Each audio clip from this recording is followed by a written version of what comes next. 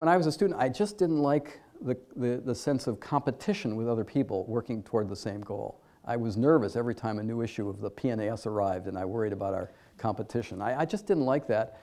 And uh, I felt that, the best, that my abilities were not best reflected in simply racing with someone else. That I felt it was much better to do something original.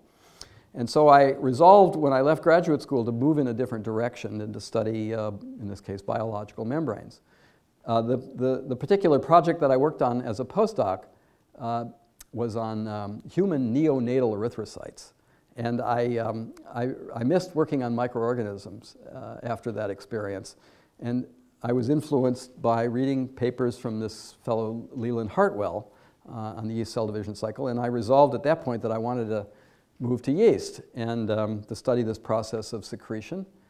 And I, I, I think I, I, intuitively I felt that if I, if my ideas had any merit, that, uh, that it would be, you know, that would really be original and I'd be able to create a career for myself without anybody necessarily knowing where I'd come from. I really liked when, when things started working that I would show up at cell biology meetings and you know, people would say, you know, where are you from?